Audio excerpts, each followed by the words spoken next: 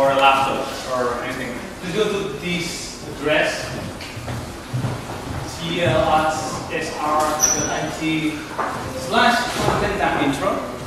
Um, this is where you can just uh, look at the slides as I'm presenting them, and also you can you can take notes for yourself. They are private. At the end, uh, this thing will send you a presentation in a PDF along with your notes. So if you want to take notes and you find something that is interesting to take notes. It also will. Uh, I will ask you questions during the presentation, and you will vote with your phone.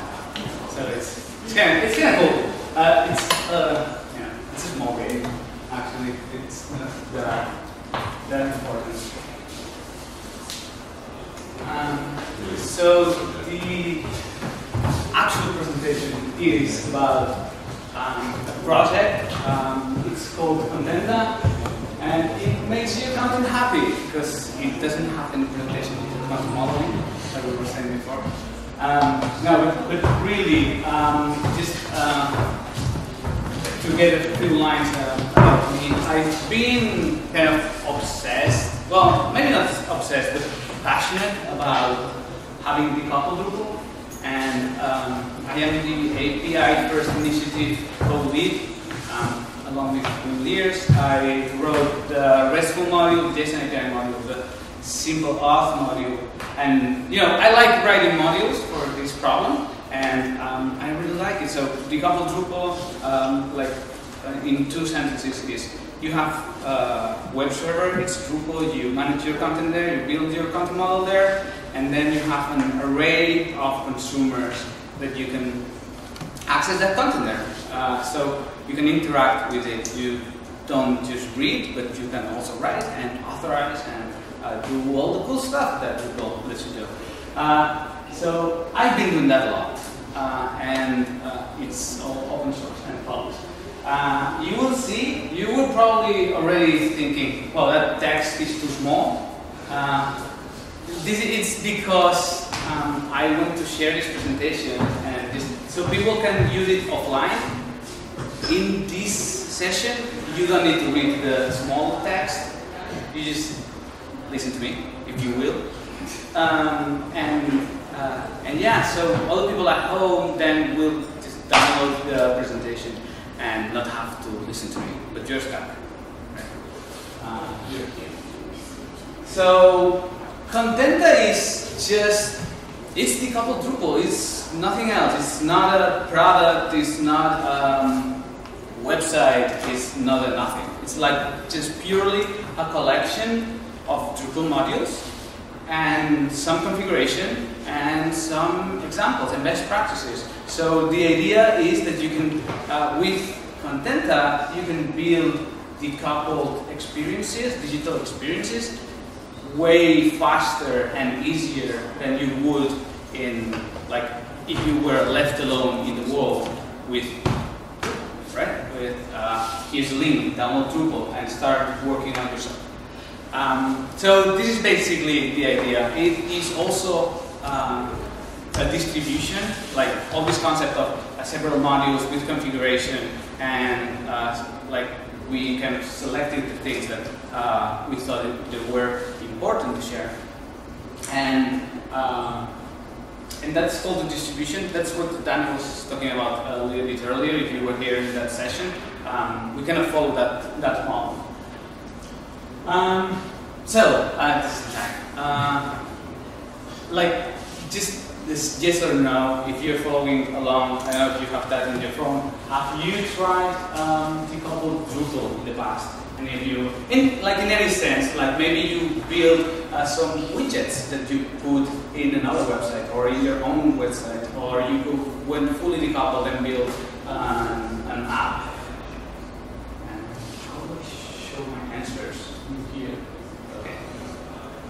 I will get the answers um, if, if you respond.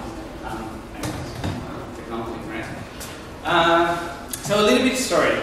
Uh, we got here in the at this point of building Contenta through a lot of effort from the community, and uh, this started like way back in January of 2012. Uh, some people started a project uh, they called it services. Uh, probably you have used it because it was immensely popular in Drupal 6, Drupal 7, not as much in Drupal 8 because Drupal 8 had you know, different things. Um, they started like providing some remote procedural calls, uh, which means that they had something prepared, cooked in the Drupal backend, and they were waiting for a request to say, hey, execute that code. Uh, and then they added REST, services REST, which kind of added REST capabilities to, to Drupal, um, to have resources, etc. And uh, it, was, it was pretty cool. Um, then, uh, fast forwarding a little bit in time, uh, in May 2014, um, I uh, was at DrupalCamp Valencia, and uh, Amitai uh, from Israel, uh, he got to me and he said, hey, I have this project, and you will be super excited about it. And then he called me by the, by the wrong name, and we became immediately friends. And we started collaborating on, on that. this was the first attempt to introduce best practices on modern API techniques in, in Drupal. There were other things that happened before that, and uh, honestly, most of the stuff that we worked on on RESTful, the first version of it, was based on REST WS, which is not here. Uh, it's a little bit unfair, but my slide template only had like three of these. So, uh, now, uh, I just wanted to highlight it in, in bullets.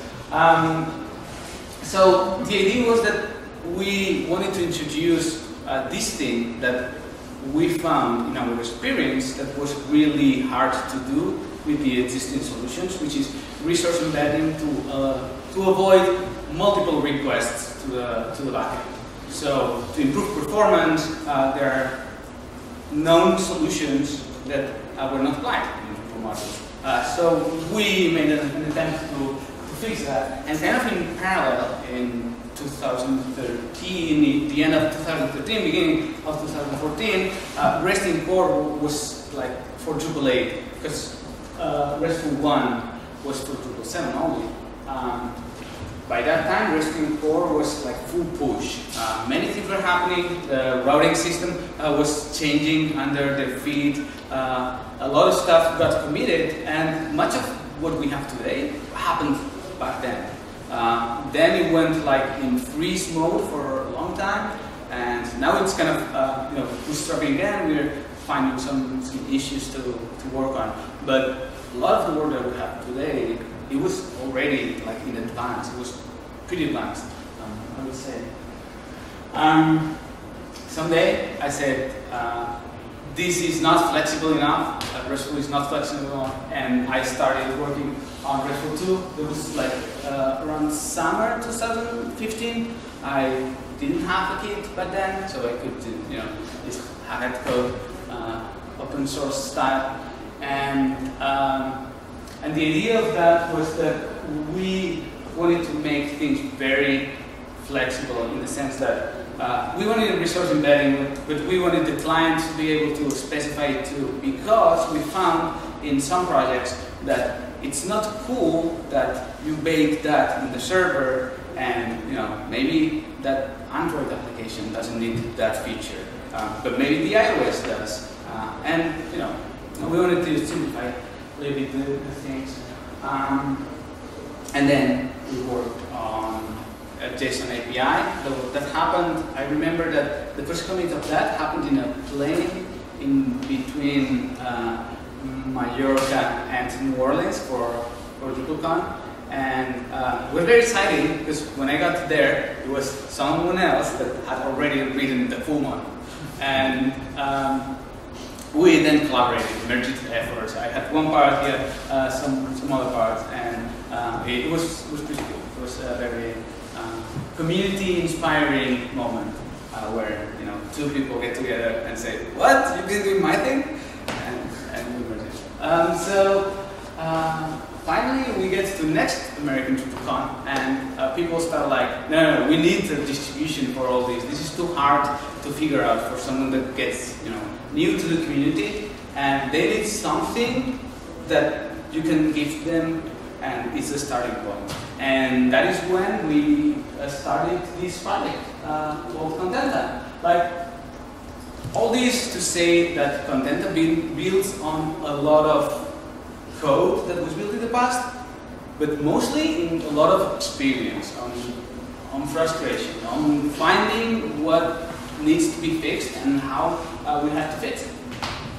And just you know, sharing that with, uh, with the community in a way that is kind of easy to, easy to consume. So this is you know, built by people. Uh, there are actual people doing these things. And um, Many of them are here. Uh, so uh, you probably know Christina. Christina makes this uh, whole event happen. Um, and uh, if you like the logo, it's, it's because Christina made it.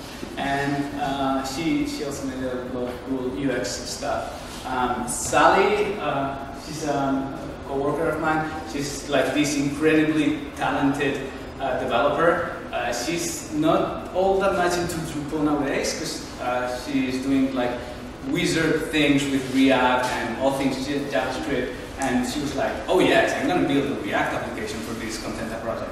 Um, so yeah, she's, she's, helping out. Um, Daniel is like our resident genius that knows all things, period, uh, and Drupal included. And, um, and yeah, and then there's me. I talked about me already. Um, but, but that is not it. That's not the full story. Because there's a lot of people that are helping. Um, we have a Slack channel. I will talk about, about that later. Um, and it's like it's like this thing. It's it's community driven. Uh, we are just some people that want to help each other because this we know the effects of open source and uh, it benefits everyone, including us, I guess. So um, uh, we, this is the like everyone that wants to get involved uh, gets a saying in what happens in the project. Um, and what is this project? What are we trying to achieve, right? Um, so the, it can be summarized in four different points. Um, and again, don't try to read the, this, the small type. Um, but it's basically trying to, one, be uh, something that is easy to use for someone that is new to Drupal, in the sense that we're building a distribution or something that is for decoupling the Drupal backend and uh, a collection of frontends. What if I am uh, just, uh, well, just an Angular developer? Like if that wasn't uh, difficult enough, right? Um, if I want to build this with Drupal, I need to learn Drupal first, how to put, uh, how to install Drupal site, how to put it together, how to install modules, which modules to install. Uh, that should be easy, right? There's only 5 billion modules in Drupal.org. Um, then I need to uh, know how they work together, how to configure them, and that is not easy for someone that comes with Angular, from Angular and just wants to click something because they know that Drupal has this very good experience with content modeling and building your content apps, right? And um, so we want to make that easy for them. Uh, another of the, of the points of our, our mission is that it needs to be ready from the moment that you start. And uh, that means that you install it and you use it. And that's our goal. Uh, have you ever installed Drupal? I assume you have, right? And what do you get when you install Drupal? You get a blue banner and a page that says there's no content. And uh, yeah, I guess that someone at some point joked about putting uh, there's no content, fuck off, and find your way in. Um, so the idea is that we kind of avoid that path, and we can do it because we are targeting a limited domain of things that you can do with Drupal. Drupal cannot do it, because you, know, you can do anything with Drupal. But we can, because we are targeting decoupled. So since we can, we, uh, we aim to do it as part of our mission. Um, also, we want uh, to have good documentation, but not inside documentation, but rather a collection of links that people can, uh, can look at. And um, finally, uh, and this is, I would say, probably the most important part, um, it's feature complete in the sense that we're leveraging the whole experience in the industry that we that we have. And um, some people come in and say, "Hey, I have I had this weird use case in, in the past um, for app deep linking, and uh, this would not work if we did it this way or this other, right? So these are the things that uh, we include in the distribution so that you don't have to figure out. Uh, and it's easier to go in there and see what's there and what you don't need than to go to the internet and find what you do need, right? Um, or that's what we think. So, uh, like expanding a little bit more on, on those, I, I know I already touched on this, but um, the idea is that you forget that this that this is built on top of Drupal because uh, the Drupal complexity is a little bit hidden from you uh, in, in the sense uh, that uh, there is one installation command, like uh, there's, a, there's a video of how you can do it. It takes some time, but it's composer based. Composer is not super fast. if you want to speed it up, you just learn that you can use Prestissimo. But, um, but it's a single command, and you just run it, and after you're done, you have a JSON API server ready. You have um, an OAuth uh, authentication uh, based system that you can use, and you can have also a simplified backend admin.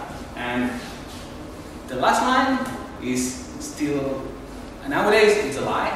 We have a, a very complex backend admin, the Drupal backend admin, uh, but we aim to simplify it uh, so I put it in the slides, uh, so maybe someone can help with that. Um, but that's that's the mission. That's what we that's what we want to do. It's not necessarily where where we are now, right? So the idea, to forgetting about Drupal, is to build on top of standards because that uh, that Angular developer that came, they may know about JSON API because it's a standard, and they used it in some Ruby-based project. Uh, 2 is like everywhere, and they know. it. So they, all they know is that they run a script, and it installed something, and they have JSON API, OAuth, and all these standard technology, uh, Open API, etc., etc. So they just interact with it. Uh, and uh, again, uh, the complexity is a little bit hidden from there, but they still have the full power of Drupal underneath if they need to expand on, on what it's providing. Um, it is ready from the first minute, and this is very uh, this is very exciting because uh, um, there is um, a lot of content that ships with the distribution. Because uh, what good is it to you, um, a JSON API server that you can get data from and push data to, if you cannot interact with data, because there's no data, right? The idea is that you install it and you start using it. But if you need to go there and type some content to see, oh, I typed this, and then, oh, it's there, nice. Uh, instead, we create like more than 200 recipes, uh, and it's like a complex data model uh, with uh, the ingredients, the different steps, the media that goes with it, etc., etc. And uh, it's there for you to know, start playing. And uh, that's the idea, that you install it and you start playing. And then when you're done, uh, one click and everything's gone. It's clean, so you can start clicking just. So um, that's the other idea. Uh, the, what we call the knowledge hub is just a collection of links that people send us, or that I hope that people will start sending us. Uh, and the idea is that it's this Drupal thing is based on modules, right? And each module has their documentation in different standards in different places, and uh, it's hard sometimes to find all the pieces uh, to get a topic together, right? So the idea is that you put a page with a collection of links that are relevant to the domain, and, and that's pretty much what the, this knowledge hub is. Um, and uh, again, uh, it's built by, by the community. So it's not like we have to uh, go and type it inside of the project. You type it in your blog and you tell us, hey, look what I built. Would you uh, include it into the distribution? And we'll go, oh, yeah. And uh, yeah, so this is kind of the, the thing. So um, there are many ways that you could present a project. Um, we have found that in pretty much all of the all the decoupled projects that we are involved, you need some kind of asset management, for instance, uh, and media is there for that. Uh, we know that we that you will that you will lose a couple of hours saying why is it no, not working, and it's because of course, and uh, we fix that for you in the configuration and all this all this stuff. Um, so the challenges that you will find, or some of the challenges that you will find, are already solved um, because we are shipping with um, a lot of Drupal modules configured in such a way that are friendly for your for your for your clients or for your own project. So, what what is it uh, that you know you're excited about? It. You like documentation? Uh, you can vote, but you know that I, I don't know how to show the results. So, I guess I can just skip it. Um, so this is the this is boring. Like we're done with the Drupal part, and now we're gonna get to the to the exciting part. And and this actually gets me excited. I I get I get sweaty when, when I think about it. Um, so we we got uh, together with the Out of the Box Content Initiative, and uh, Christina is pretty involved with with them. And the idea was that. Uh, you know, that page that I said about that is a blue banner with there's no content. Um, they're trying to fix that because it is actually a problem. And uh, they're building a distribution that will show how the, the theme system works, etc. And I'm probably misrepresenting that. Uh, if you have questions about that, ask Christina. Um, but uh, they came up with this idea of building a recipe magazine project. And uh, because of many things. Like it shows really well structured content. It shows shows really well how you can build complex layouts. And uh, they were kindly enough to build also wireframes. So we thought, what if this content that we wanted to ship with, that is uh, example content, so people can install and start playing, what if we use the same thing that they uh, wanted to use. So we collaborated, uh, we kind of gave uh, our ideas, we created the uh, automatic migrations to import content, etc. so the target is that uh, we can build examples of consumers for that API in all of the technologies possible in, in the world. So that's the vision, right? Uh, that's not enough. But uh, the idea that, we could build that and uh, follow these wireframes, the same things. So you can have uh, like a, a, fair comparison of the of the different projects uh, in maybe the, to build the same product, uh, maybe in Angular and also in React, and then you can see how the best practices are in in each one of the of the technologies. Uh, and I mean, I didn't expect this, and we had React lined up. Sally was going to work on it, but then people got excited. And um, Matt and Joao collaborated in writing an Angular content. Uh, there was uh, Sam that starting working on an Ionic project. Uh, Daniel, he worked on Elm and a chatbot. It's pretty cool. You are hungry and you say, um, hey, what should I eat tonight?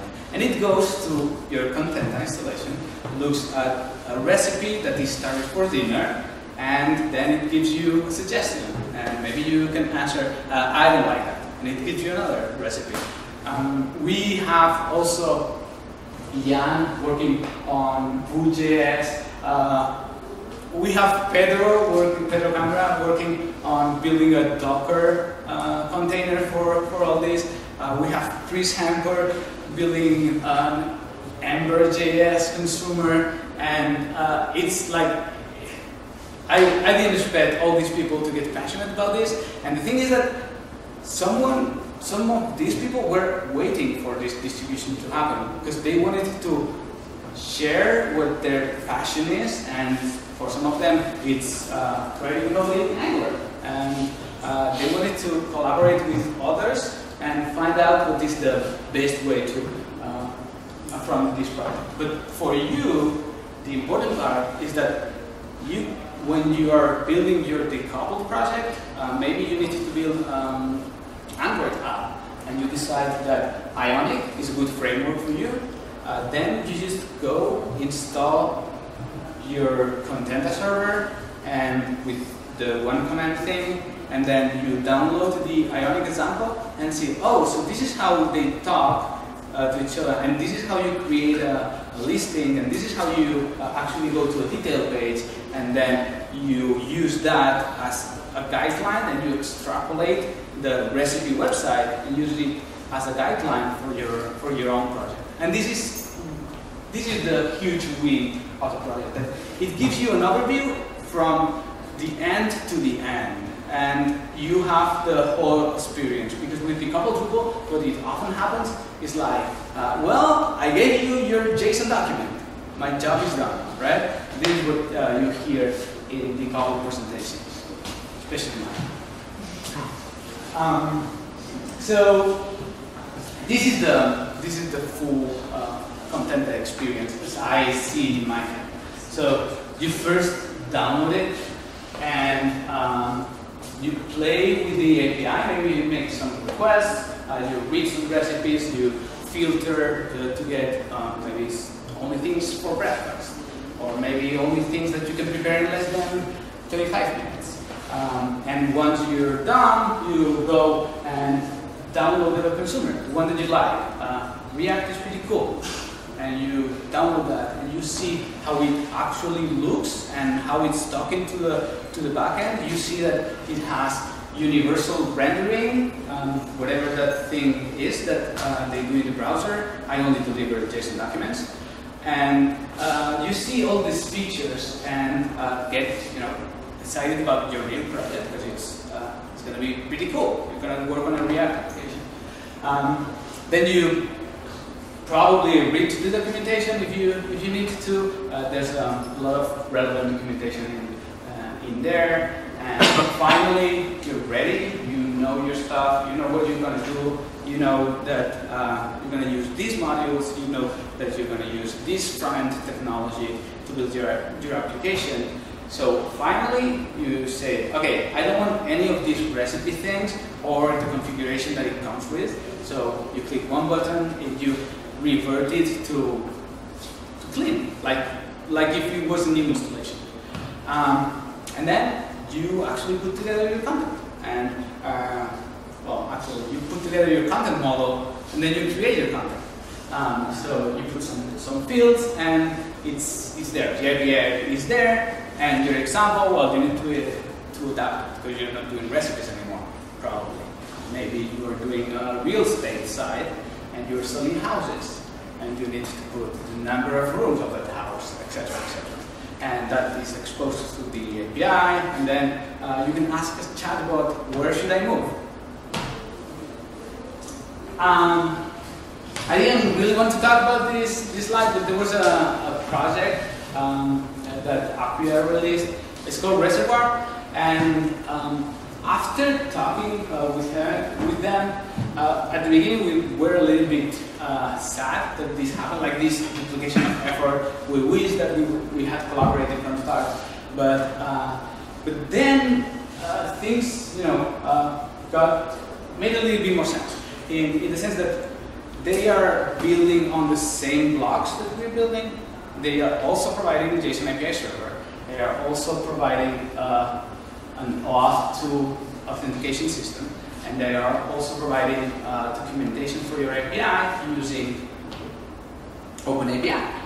Um, and what they realized is that during this time that they were developing this, they had been sending the patches for all these modules. A lot of them, uh, and they were actually good patches. So the collaboration had already happened, in, in fact. So the that feeling kind of uh, got a, a, little bit better. But um, after talking with them, we realized that it comes down, the difference between the two projects, it comes down to what we consider that clean state that I was talking about before. Um, so that's why I say that um, Acquia Reservoir could be a replacement for our stage 5 if you were to go down that route. Um, reservoir doesn't touch any of the other five stages, like stage 1, 2, 3, uh, 4, and 6. Uh, uh, they didn't do. But they focus instead on the stage 5, uh, which is uh, getting you uh, decoupled distribution, a decoupled backend that is simple to use, and uh, they go for simplicity in the sense that they only support nodes, users, and files. And that's it. They don't have plans uh, that I know of to support or stuff. If your project will always only need those, then using Acquia Reservoir is you know, a perfectly good solution. I mean, in the end, you're using the same Drupal models. In the end, you're using Drupal. Um, if you if you have instead other needs in your project, uh, like having a media library or uh, having you know having to support paragraphs, um, which I'm not sure is a good idea for a decoupled uh, for a decoupled architecture, but sometimes it does make sense. Um, and what I'm getting at is that obviously the Contenta people think that uh, you will need more stuff than just nodes, files, and users, um, because that's our spirit. Um, but, but yeah, Acquia Reservoir is like a very similar solution, and it provides um, it provides that value. so now I can see your faces, um, especially in Daniel's, that you want to get involved. And uh, so how do you actually do it? And uh, what would you do if you got involved? So we we just we just some nerds that hang, hang out in in Slack and talk about these kind of problems. Uh, the other day there was an epic uh, discussion about uh, about routing, and it, it was really productive. And uh, we started like from way different angles, and we came into the agreement of uh, yeah, let's build a module. It was actually the, the summary. Um, if you want to come and join uh, the Contenta channel in Drupal Slack uh, for the conversation, I think it's I think it's worth it. Or uh, to me, it feels like I'm, I'm learning stuff. Um, and if you have an idea of, you, of what you want to collaborate, I mean, um, maybe you are very passionate front technology. Um, maybe you are a very good writer. Uh, we have probably needs of help of everything. Like uh, our, if you go to contentacms.org, the content that's there is not super great, so we could uh, get help with that. And um, um, maybe you want to build another consumer, that's another example for, for, the, for the community. If you know Drupal as a developer, uh, we can get help in you know building some features in making the admin uh, experience be better. Uh, if you think uh, the help pages can, can help, uh, can use some theming as well. Because uh, you saw just a static slide that looks uh, kind of good, but it's not all that great at the moment. So we can get help if you want, if you want to feel this sense of, of community and you know help us help um, everyone, uh, that would be that would be great. And if you don't know what you could be doing, just ask. Uh, sometimes you know you don't realize that uh, your DevOps skills could be of high need for us. Like uh, I was struggling. I skipped one night of sleep because I couldn't figure, figure out how to do continuous deployment in uh, a Pantheon site using Circle CI and using Composer and all this stuff. Because I usually don't do it. Uh, so uh, if someone said, hey, I do this, uh, it would have been great and probably would work better. Uh, And, and yeah, so uh, the idea that this is made by the community for the community is that this is not a sales pitch, right? This is uh, just some people helping other people, and uh, that's pretty much it. Thank you.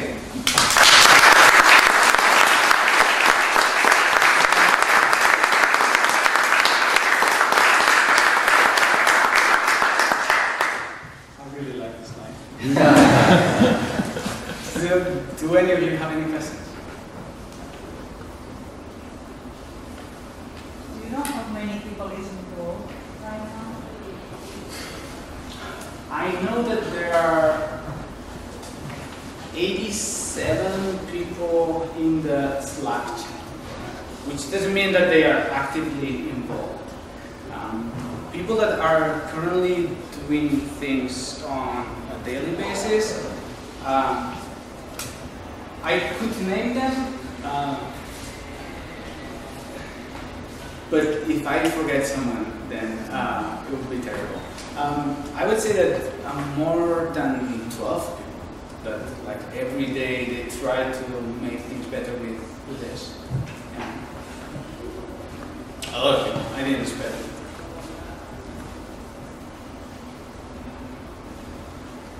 Including you. I I have sort of a related question. So I talked about content modeling, but I don't have that much idea about content modeling. Do you have idea ideas where to read about that? Like, I- I have a place for that.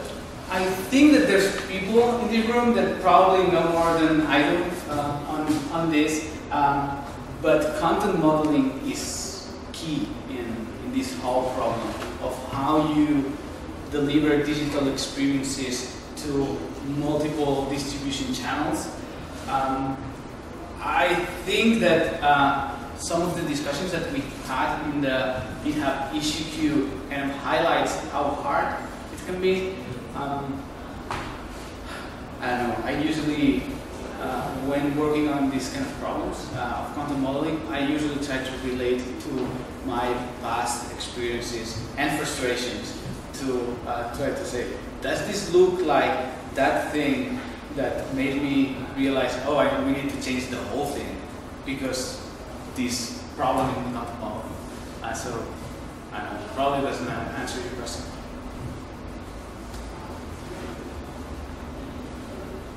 You want to? But maybe it could have like links to purpose or blogs and like, That, that, that would be that would be great. Yeah, um, I think that uh, there's probably a lot that has been said about content modeling in in multiple distribution channels. Um, content strategists uh, are in this spot, right? Like we need content strategists to tell us, hey, these things really need, you know, to follow these patterns that we know that you know, if you follow them, then it's going to be easier, or maybe break this down, or maybe the recipe content model is broken because of this and that, right? Uh, because if you're building a recipe, uh, you know, you would expect to have units or I two artichokes. It's two units of artichoke, uh, tablespoon of salt. But then there's a peach, and then there's a you know uh, some. Add some pepper and things like that. So uh, things are really complicated. That's what I'm, what I'm getting at. Uh, to, to model uh, content is something that is uh, pretty pretty complex, and we could really use help. I don't I don't know. I, I, I don't really follow the, the subject all that much to, to know blog posts and, and such. But yeah, I would love to. Uh, someone sent things.